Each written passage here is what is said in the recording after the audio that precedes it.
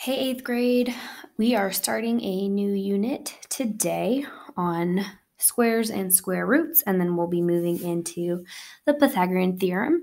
Um, but today we are just going to take a look at what squares and square roots are. I know you all know what squares are, but we're going to kind of dig in a little bit more into how that ties into algebra. So this is the first time I'm doing a video like this for you guys. Um, it may or may not feel like Dora the Explorer sometimes when she's like, say siete, and then she like pauses. It's probably going to feel like that because I'm going to ask questions um, and then pause as if I want you to answer because I'm going to kind of try to teach this as if I was in class with you and we were sort of having um, a discussion. So, um, just fair warning that I am going to act like Dora the Explorer sometimes, and you're just going to get over it. So, I want you to take a look at these numbers. So, um, this is a bunch of different numbers. So, we've got 1, 4, 9, 16, 25, 36, 49, 64, 81, and 100. There are more numbers that are in this family of numbers, but I want you to think for a minute about what all of these numbers have in common. What do all of these numbers have in common? And I'm not going to tell you um, right away, right now, but as we dig into this, you're going to see um, in just a minute what they all have in common. So, obviously, um, this shape should be very familiar to all of you. And um, what do you know about this shape? It is called a square. Um, and what is the most significant feature about a square? Obviously, we know that it has 90 degree angles in every corner. Um, but what is the most significant part of a square is that all four sides measure the same length. So if this side is seven inches, every other side of the square is seven inches. Um, that seems obvious, but I want to just remind you that that's the most important feature about a square is that all four sides have the same measure. So let's think about area. We know that area is usually length times width. And in a square, that I have here, um, the area of the square is 81. So if I tell you that the square's area, that's the shaded in green section, right? How can you find the side length, um, the measure of one of the sides, which would end up giving you the measure for all of the sides? But if I know the area is 81, what is the measurement of one of the sides on this square? Hopefully, you're all yelling nine at your screen. So, take a look at this. If you have um, an area of 81, so remember, area is this entire shaded region. Um, area is a two dimensional measurement. Um, and the area is 81. That's what that equation A equals 81 means. We can just say area is 81.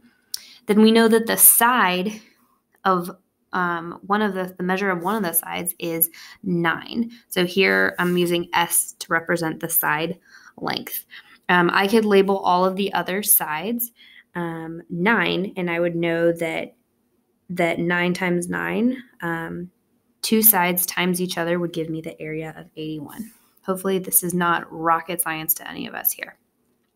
Here's what I just said. So side times side equals A. Um, usually we say length times width for um, area, but in a square, we know that all of the sides have the same measure. So doing length times width is gonna like the length and the width are gonna have the same measure. So um, I'm just replacing length and width with S and S. So instead of saying length times width, I'm saying S times S equals area. In this situation, 9 times 9 equals 81. So, in now that we're in eighth grade world, we have some names for those two numbers that we were just looking at and the relationship between them. Notice that I said the relationship between them. Um, I'm going to be asking you to think a lot about, and I'm going too far. Oh, I'm just going to ask you to think a lot about relationship between numbers.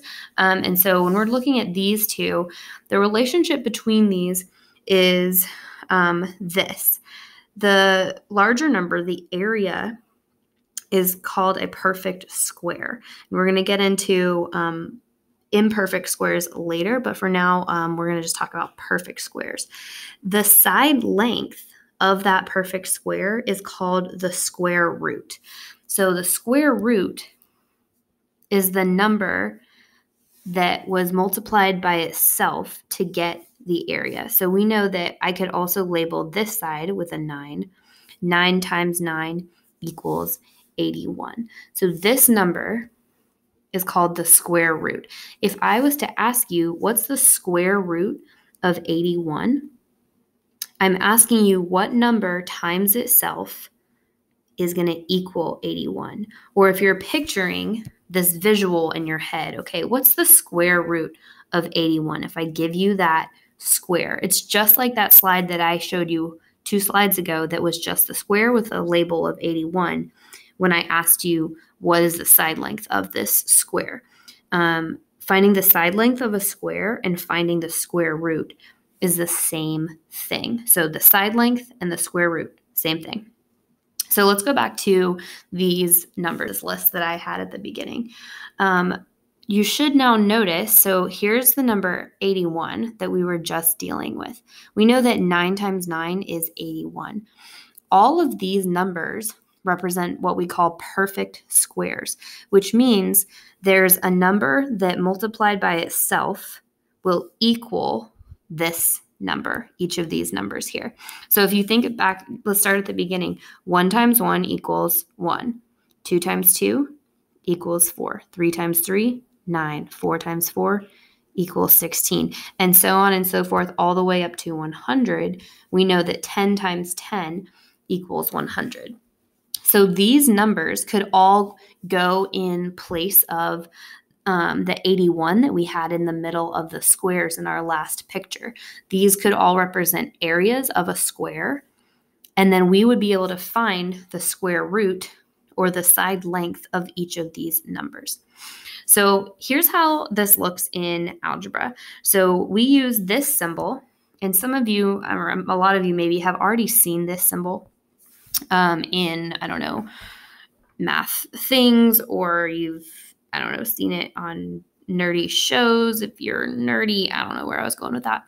But um, this symbol is actually not a division sign. So it looks kind of like a division sign, but it's actually not. This is called a square root sign um, or a radical sign, which we won't call it a radical sign for the time being. We're just going to, I'm going to let you call it a square root sign. So if I was um, to say this out loud. So that's not a division sign. Okay. Um, it means find the square root of whatever the number is inside the square root sign. So in this situation, it's telling you to find the square root of x or find the side length of this number that's in here. If I put 81 here, Oh, let's or 49. Let's do 49. If I have 49 underneath a radical sign, this means find um, well, the way that we say this is I would say this is the square root of 49. So say the square root of 49. That's how we say it if you're reading it. But you're thinking in your head the side length of a square that has an area of 49. So if I was to put 49 inside a perfect square, right? You're thinking to yourself, what is the side length of that square? You know that that is equal to 7. And this pointer doesn't actually let me write, so you just have to imagine that I said equals 7 there. We're going to do more of these. So the square root of 49 is 7. Um, how do we say this based on what you just saw on the last slide?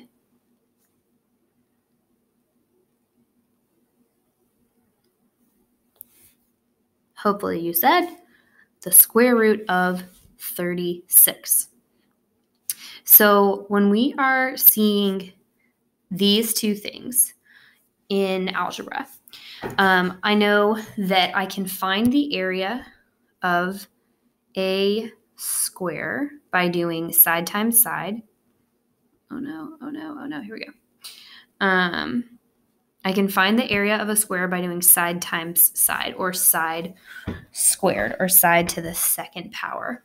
All those things that I'm saying, side squared and side to the second power, are the same thing. Area equals side squared.